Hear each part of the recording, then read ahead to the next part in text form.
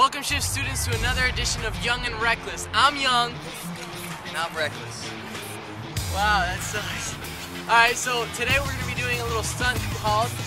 Just add water. Alright, so what, what, what are we doing here today? So I, I decided that, you know, I like to wakeboard. And, you know, once you get really good at wakeboarding, all you really need is, uh, you know, your life vest, some water, and That, that always helps too. Alright, so.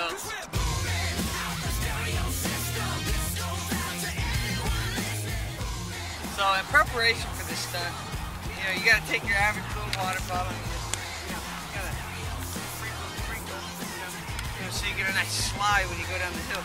So, hey, uh, Steve, you ready? Yeah, let's go! All right, here we go. This is just that water.